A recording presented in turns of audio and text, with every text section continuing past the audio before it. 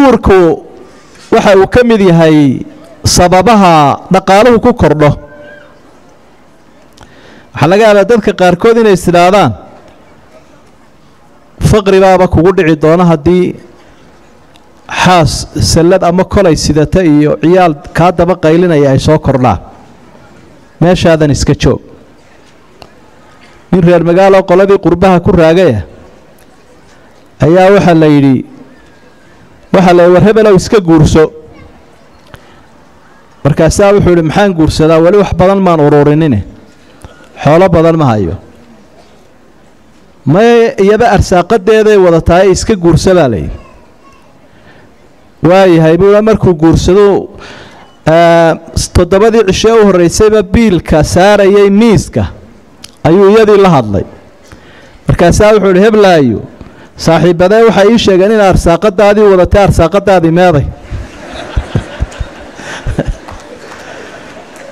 War wixii aad sheegaysa wuu socon waayey buuhi toddoba cishaanu joognayoo waxba may keenin buuhi marka inaad sidaa noqoto ma aha. Laakiin innaga caqliyadeenni iyo garaadkeenni iyo iimaankeennu wuu weyn yahay. Waxaynu aaminsannahay inuu ilaahay sabab adiga kaaga soo dhigayo.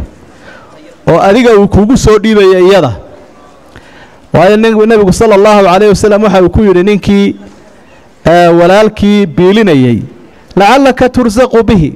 Waxaa laga yaabaa in isaga lagugu arsaaqayo arsaaqadda isaga daraaddii lagugu fududaynayo. Sidaa daraaddeed baa cumar ibnu khadaab wuxuu lahaa cajibtu liman ibtaqa alghinaa bikayri nikaax. Wallaahu yaquul in yakunuu fuqara'a yugnihim allahu min fadli.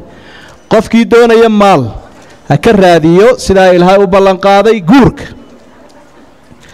Abubakar sidiiqna waxa uu lahaa radia allaahu canh adiicu llaha fii ma amarakum bihi min annikaax yunjiz lakum maa wacadakum bihi min alghinaa. Ilaahay amarkiisa qaatoo guursada isaguna ballantaa uu idiin ah inuu maalqabeen idinka dhigi doono wuu idin siin doonaa. Rasuulkuna sala allahu calayh wasalam waxa uu ku yidhi xadiid xasan oo la daliishin karo saddex ilaahay baa isgarab taaga. Waxaa ka mid ahaa annaakixu yuriidu alcafaaf.